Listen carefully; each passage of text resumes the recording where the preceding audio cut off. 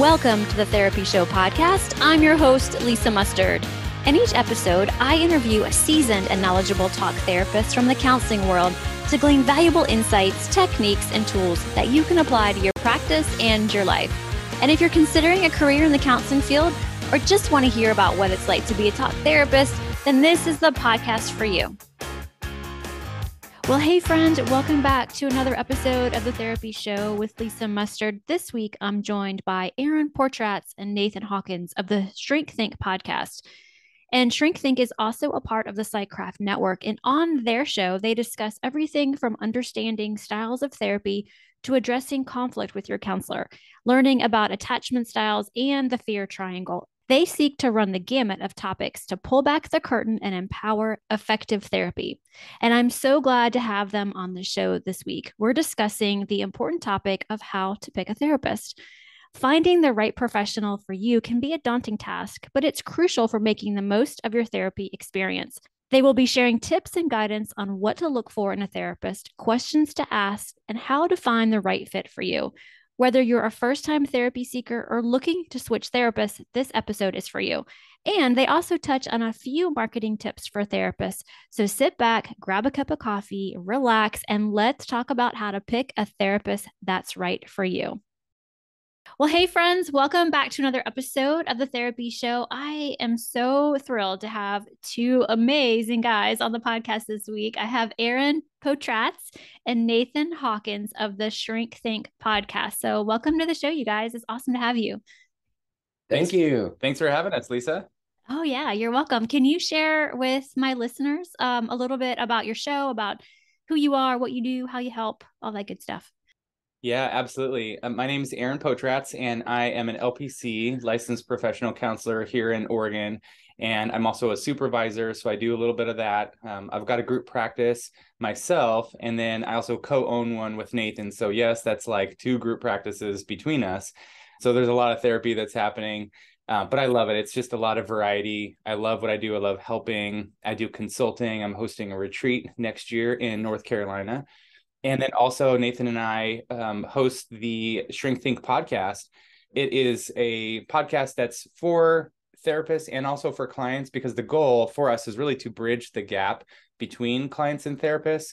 Um, like we were talking about, we recorded uh, before for our show before this. You know, a lot of people that are going to therapy want to know what it's all about. They don't really know how to do it or what are like what what are, what are some things I need to know about it in order to go? What do I say? How do I do this well? And so we want to kind of educate them and bridge that gap so that therapists are getting clients that are well informed and prepared, and then clients are going bringing kind of their best stuff to work on in therapy. So it's the best way I think that we can help people help themselves. Yeah, I love that. Awesome. Yeah, and I'm Nathan Hawkins. I'm also an LPC um, here in Oregon, also a supervisor and own a group practice and co-own, as Aaron mentioned. Of course, we do the Shrink Think podcast, right? And um, done a little bit of consulting. Aaron's got a full business model that he does. Um, so yeah, we just we just love what we do, and and with the how we kind of got into it a little bit was we were at this this conference in Colorado uh, that was put on by Practice of the Practice, and Joe Sanok was talking, and he was talking about how like oh, you should do a podcast because this is the it's like the Wild West cowboy days of of like pod like right now in this in this whole genre and um, get in on the bottom floor and blah blah blah blah. And it was kind of like wanting to be one of the cool kids or something, you know. Like, uh, Aaron, well, Karen was like, "I want to do a podcast." I'm like, "You're not doing a podcast out of me." and so we were like, you know, basically, okay. And then we were like, "What are we going to talk about?" And and kind of it was you know we started off by thinking in terms of when people we get weird questions as therapists all the time like or or maybe not necessarily questions but expectations that come like when you walk into a room and somebody goes hey what do you do for a living? And you're like well i'm a therapist. And they're like oh. And then all of a sudden there's like all this stuff is in the room. So we thought oh it might be cool to share what that's like you know and then it grew into like because we're like normal people at the same time.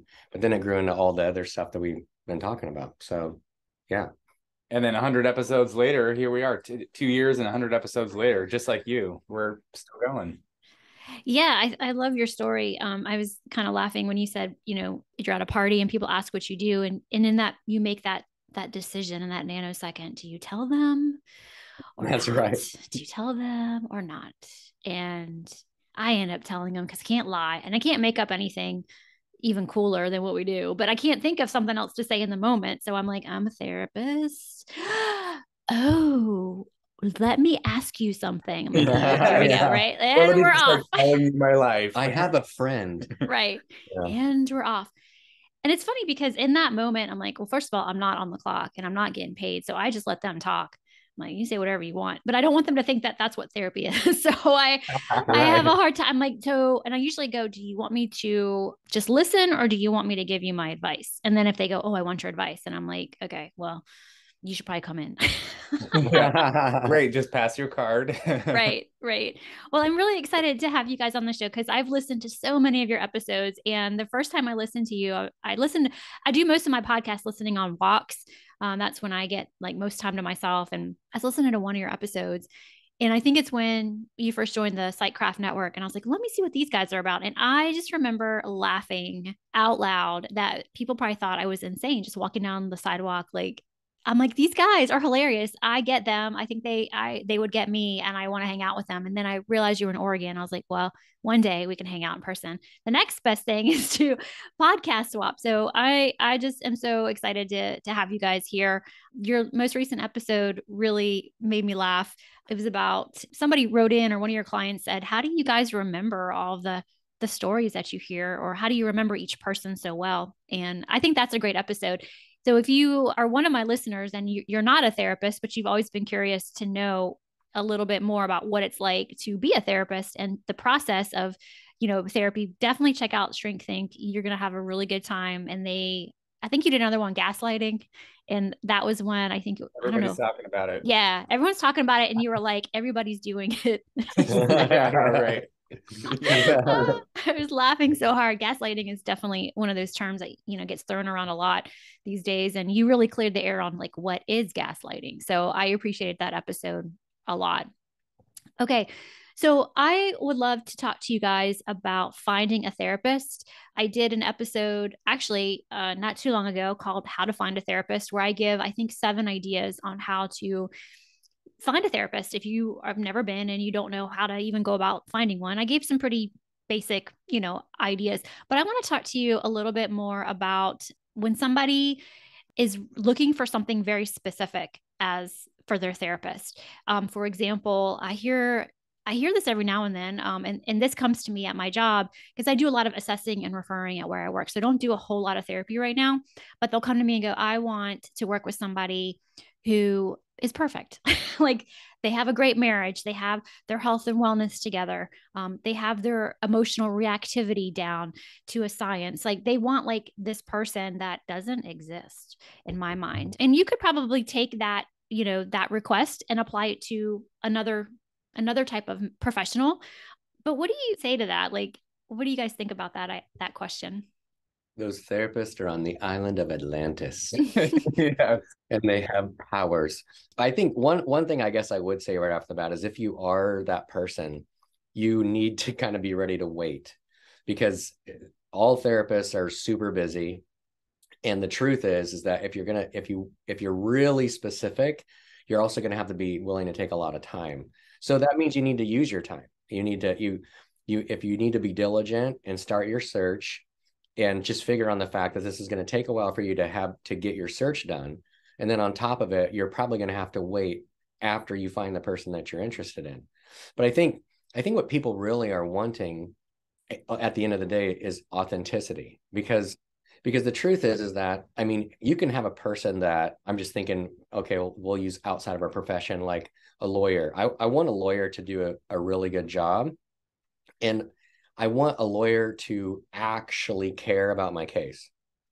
So if they are this arrogant, smart person that can do a good job, I don't want them to worry more about themselves doing their job than they're worried about me. So, and I, and I think it probably translates to some extent when you're trying to find a therapist.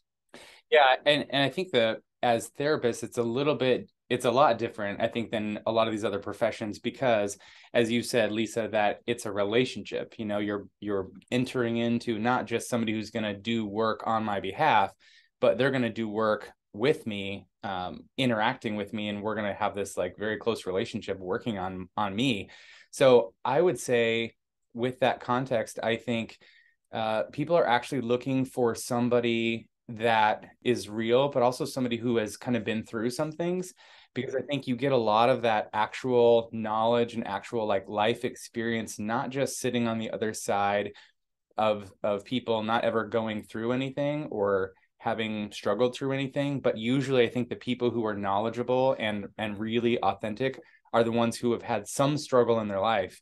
Uh, that doesn't necessarily mean that they're in constant struggle or they've had something major happen right now. Maybe it's their upbringing, um, or maybe it is somebody that you know in their either adult life they went through something this became a second career and they wanted to kind of turn that into something meaningful to help people. So i would say people who have been through something have probably a lot to offer if they've done the work themselves. Yeah yeah and i i agree with you on that and just kind of reflecting over my years of being a therapist you know in the beginning um, i didn't let's see for me this was kind of like second career because i didn't become a therapist until i was in my early 30s but in the beginning, I remember thinking, looking around at my grad school peers, and I was older than a lot of them, and thinking, well, at least I've lived a little bit more of a life here. So I wasn't as worried about sitting down with clients for the first time. I mean, I was a little bit, but I wasn't like scared to death, you know? And I knew that the authenticity piece was really important. I was an LMFT or am an LMFT, but I wasn't married yet. I didn't have kids yet. And that really felt, what's the word? Um, I felt like an imposter in the beginning because I didn't have those things. However, I come from a family. I've witnessed marriages. I have witnessed divorces. I have witnessed, you know, parenting. So I knew, and I also had this education under my belt. So, and I had really good mentorship and really good supervision, you know. So I knew that I, I couldn't, I remember my, my supervisor was like, you can't really mess up. You're, you're always, if you, if you mess up, we're still one session ahead. So we can, we can backtrack and we can kind of fix things, you know. And so that kind of gave me some confidence as well. But I definitely like how you spoke to, you know having these lived experiences even if they're the person wants to focus on you know divorce or marriage and the therapist they're going to has been divorced or is going through a divorce it's like they still have valid life experiences under their belt plus you know the years of being a therapist to help that person so I think that's really important. And that's not to knock the newer therapists that are just coming out because they have lots of skills and they can help lots of people just as much as the ones who've been around the block longer. I think that's a really good way of, of framing that. So, yeah, and also the idea of uh, if you're looking for that specific of a therapist and you want all of these things, you want to like check the box and all these different things, I would be like, what? I think we need to do, like, I almost am curious about this person, you know, and and like what's going on that you have to have this perfect person sitting across from you. Like to me, that's the curiosity that I have right off the bat when I have that request. Um, what do y'all think about that? Yeah, it's kind of goes with that the saying that I like to say to to people is like if, if you're going into therapy, get ready to be confronted with a hard reality that you are the problem. You are the biggest problem in your own life. And I don't mean that like in a critical way. I mean like if I'm going to sit across from you and you're my therapist, Lisa, you're going to say the same thing to me. You're going to be like, Aaron, you are a problem. Thank you. I couldn't even get it there. I know. I was like, yes. you've been waiting. I, yes, He's been waiting for weeks. He's wanted to say that. it's totally true though. Like, and I know that it, you know, if you have any kind of self-awareness, you will know that you are your own biggest obstacle. So when people are coming and sitting across from me or they're reaching out for therapy, I'm thinking, you know what is it that you're bringing to the table that you want to work on? And also what is it that you're bringing to the table that you don't necessarily know yet that you're going to need to be, be working on? Like oh i have this perfectionism thing or maybe there's this fear that if you are not perfect then i'm not going to get the help that i need because i'm terrified of putting myself out there and then it's ne- it doesn't get better. Even with the best of the best i want to have confidence that whatever my issues are you've got enough uh, skill and experience and knowledge that you can help me because that would be terrifying for me if I could not get the help that I need. again, that's saying so much about me and my own fear. I think one thing I wanted to add, and it, it goes along with what you were just saying, Aaron, but also is a little preempting to that. I think when people there there are situations where people feel like, you know what, that's cool. I feel like, you know, normally I would I wouldn't care. I'd pick whatever therapist, it wouldn't bother me. But this situation, I feel like I really kind of need someone who I think is going to get it. And and that makes sense to me. I, I mean, that's kind of what I was saying before. Like you're you're going to need to take some time, and probably that situation, like if you're you're, it's kind of the same thing in the in the world of drug and alcohol abuse. If you know that somebody's been through it and then they made it out of it, and there are certain things that they just get, I mean, I, so I guess I just want to say I do get it that that there are situations that come up where you do want to find somebody like that. I think the other thing that comes in um, on top of that is the current culture around therapy. It's kind of divided when you think about it. On the one hand, there's the medical model that's pushing this idea that you know, and there's a lot of therapists on board. They're like, okay, come in, do therapy as quick as you can, and get out and then there's a lot of there's a there's a pushback where like hey well we just want to try i want to try to figure myself out. I want to take some time. And as a normal person trying to enter the fray of therapy you might kind of understand that vibe not really know what to say about it but then you're trying to find somebody who doesn't want to push you out because you don't want to be like a problem and you want to go over your life. But then how do you find that person Okay, so you've got a website and you're ready to market your private practice to the world. However, when you look at the analytics, if you even have them, you can see that people just aren't showing up to the website. So you wonder, how can I get more clients if no one even knows I exist? And after doing a bit of research and talking to colleagues, you learn that SEO, also known as search engine optimization, is what you need to do in order to attract traffic to your website and create a steady flow of new clients in your business. So you start learning what you can about optimizing your website through YouTube, podcasts, and blog posts. And that's when the confusion really sets in, right? Which keywords should I use? Where exactly do I put them? What content do I need on my site? And how do I even write the stuff so Google finds it? And after some time, you piece some of this SEO stuff together, but you're not entirely sure whether you've done it right, missed a step, or even if you're on the right track.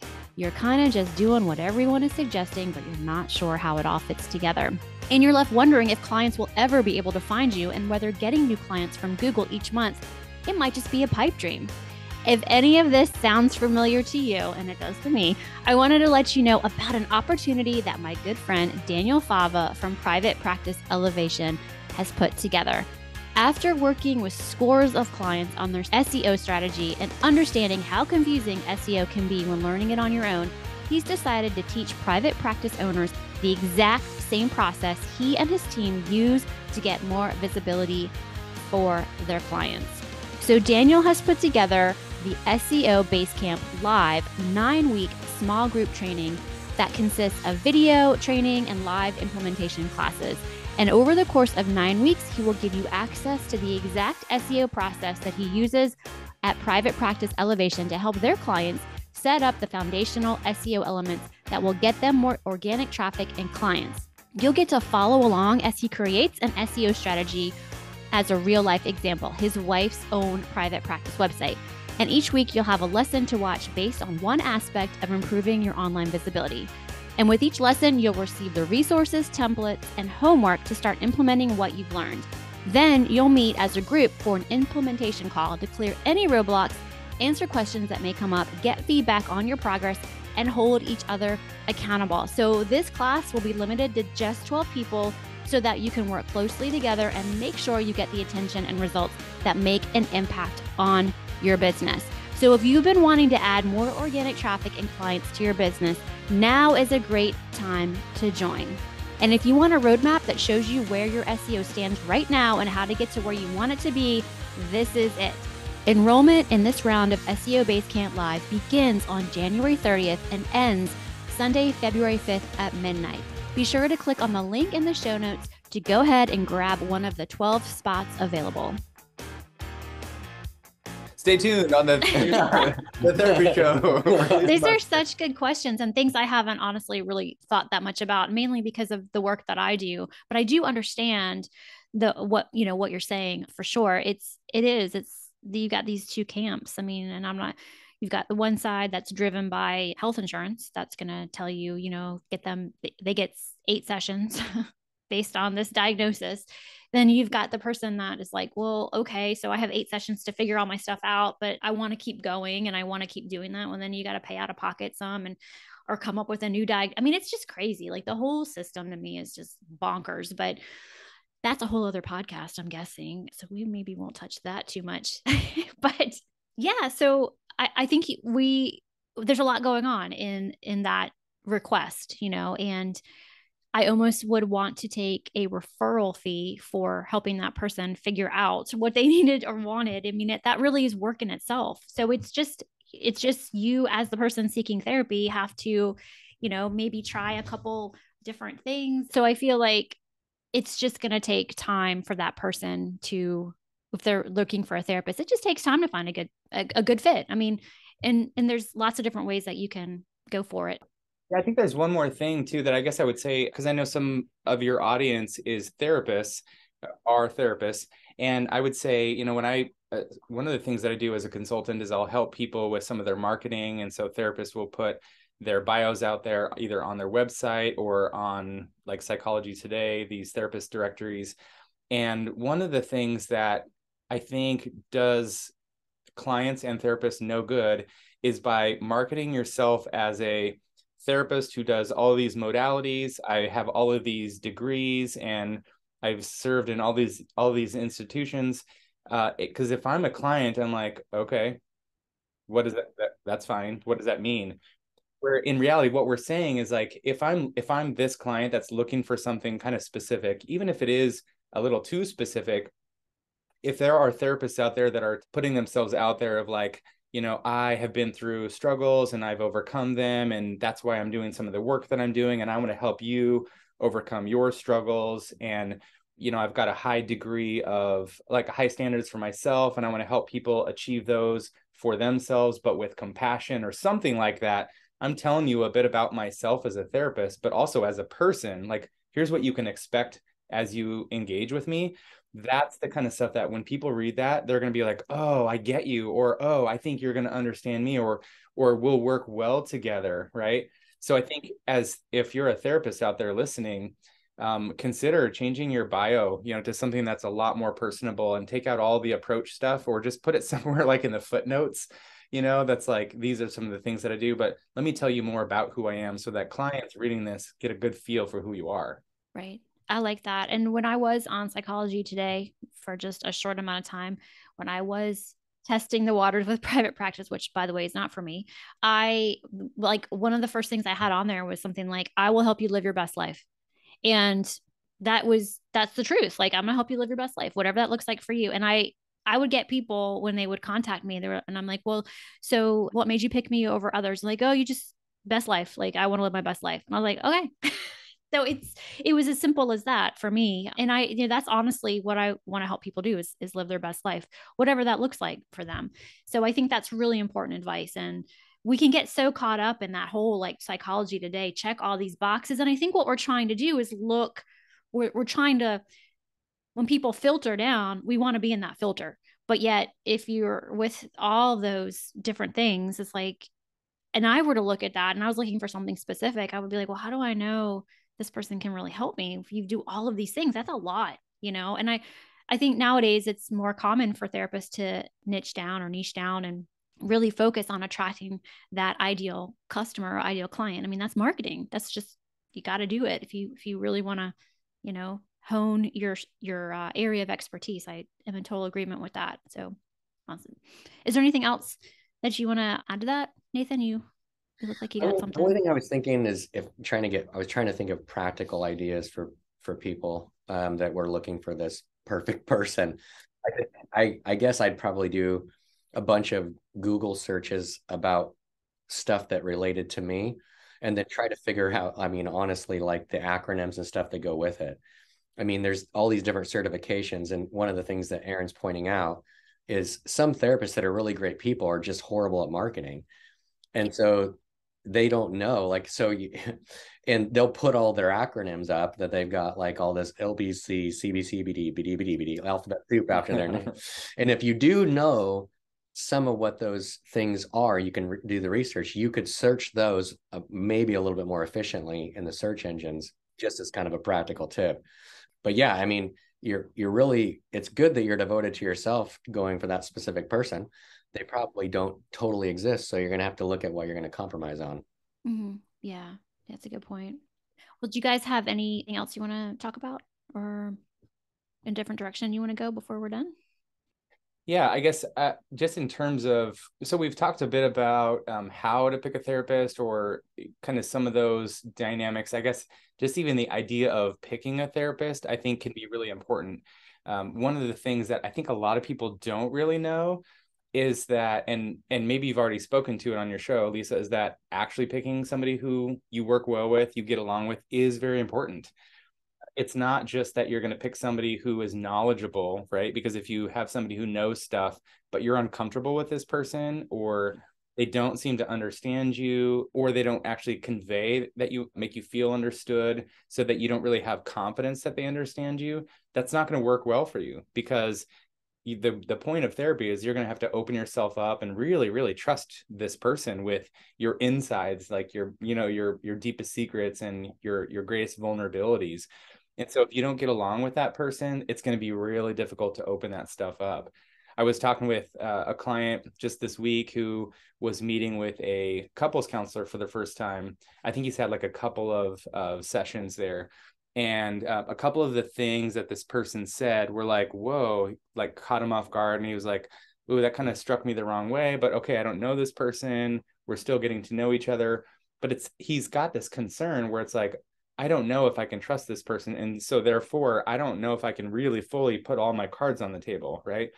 That's a problem because ultimately if you're trying to get somewhere and do your best work you need to put all your cards on the table. And so it is important that you do not just like you don't have to like your therapist, but you really do need to respect them and feel safe with them. Most therapists, I, I would think, would give you a you know a ten minute phone call, and you can get a lot from that. Um, like a, I, I do like a 10 to 15 minute free, uh, free consultation on the phone. For me, I don't want to have some, I don't think number one, people generally, if they're going to come in, they generally don't want to pay me $200 for the hour to, to find out if they like me and we're not going to bill that to insurance. right. So I'm what like, do you code that as anyway? if, Exploratory services. yeah, if you want to do this, uh, sure, I'll talk to you about maybe doing this. Maybe we're going to be doing something or not. Anyway, so people generally will will be like, okay, and you can find out a lot about a person. So I would say, see if you can get a phone call with them um, before you're just like, I pick you. But even you know, going back to like therapists out there, like get get on social media, do some stuff out there that whether it's blog posts or you know a podcast or like be interviewed or just do some stuff where people can get to know you a little bit. I mean that's the thing these days that's different from back in the day before social media. I think therapists were super professional. You just had a professional website. Now it's like hey look at the meal that i am eating out you know, oh my word watch me do a backflip you know it's like oh my it's that's a, totally true. It's a little bit of like this is my personality. You can get to know some. That's the point of social media. It's not to like let me tell you about all my professional experience on this this Instagram reel. It's to let you get to know me to see if like oh I like this person. Mm-hmm. Yeah, it's changed so much. I mean, gosh, if you think about when we first started what we do as therapists we didn't have social media you know it wasn't it wasn't out there and then i remember when i first got facebook i was like do i tell people what i do don't do that because then they will start messaging you and it, well, I mean, I guess everybody's got to find their place with that. And nowadays it's like they all want to friend you now, like your clients. And you're like, no, don't friend me on social media. Like that's that's not okay. That's a that's a hard I mean, that's a whole other topic, of course, but no, let's talk about that too. We're becoming your new co-host on your show with all this content. yeah, we may have to do another one on that, but but there is you got to find that fine line of like what do you show on social media what you're comfortable with and and I think just as humans we have to decide what we're comfortable with on showing on social media because what it, what you put out there it can live forever. I mean, I tell my kids that all the time like it doesn't it's unforgiving. You put something out there, it's it's there. Yeah, so that's a really good point. Yeah, look people up on social media, see and you know if you and I say it all the time like if you have a friend who's a therapist, ask that friend, you know, like the therapist friend, like, who do you recommend? Because I'm going to be honest with you. Like, I know in my neck of the woods who I think is really good, you know? But then I know lots of people that I don't even know that are out there that are good. So it's still, I don't know everything. Like, I can't be omnipresent and I can't be omnipotent. Is that the word? Omnipotent? Yeah. I just used a really, is that right? All knowing. Oh no, I just used a really big word. Omniscient, yeah, that we're getting them all. There we yeah. go. Yeah. So I think that's these are all just such such great points. Yeah, I'm so glad that you guys came on the show. Thank you. How do people find you? How do they how do they subscribe to your podcast? Because you never talk about that on your show. That's right. So we collect stars. you are never going to believe this. I have to say this because I just realized it. When when I first started as a therapist, people, most therapists were still in this thing called the yellow, yellow page. pages. Oh, what's that? This dinosaur like. Yeah, you find them in archaeology digs. Yeah, you do. I have no idea what that is. the yellow pages.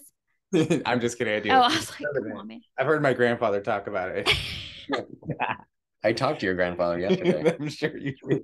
Well, we were at my mother in law's for Thanksgiving. I think it was Thanksgiving. And my daughter picked up like the phone and she's like, So you used to use one of these? Like, because my mother in law still has the phone on the wall. She's like, You used to use this? I was like, Yeah, you picked it up and you dialed the number. Like, press the buttons, just press them, see what it feels like. And she was like, Wow. I'm like, oh, you walk upstairs with a super long cord yeah. into the closet. Into the closet. she was like, That's just crazy to her. Oh, it's so funny. Yeah. So tell us how to find your show. Yeah, we are uh, Shrink Think podcast. We're on Apple Podcasts, Google Podcasts, Spotify, iHeart. We are on uh, Instagram as uh, at shrink.think. And um, you can find me uh, at Discover Counseling is the name of my organization, and we co-own at Life DCS, Life Discovery Counseling Services, but that's at Life DCS. And you can find me at, at Life Encounter Counseling on Instagram and Facebook. Okay. And our website is shrinkthink.com. Um, we do have a, a um, free email course. If anyone wants to sign up and take our free email course, we'll walk you through how to overcome fear and insecurity, imposter syndrome, those kinds of things. Uh, it's at uh, shrinkthink.com forward slash podcast. Awesome. Well, thanks, Aaron. Thanks, Nathan, for being here. This has been really fun. I'm so glad. I'm so glad we did this. Yes. Thanks, Lisa. Thanks for having us. It was a great time. Yeah, you're welcome. Hey guys, before we end this episode, if you are liking my content, if you're liking my podcast, be sure to go over and leave me a five star review on the podcast platform of your choice. And if you are up for it, I'd love it if you left me a review as well. Well, that wraps up another episode of the Therapy Show with Lisa Mustard. I know there are hundreds of thousands of podcasts out there, and I'm thankful you've chosen to listen to mine. Be sure to visit lisamustard.com to access the show notes and discover more fantastic content. And I'd be grateful if you subscribe to the show. Thank you.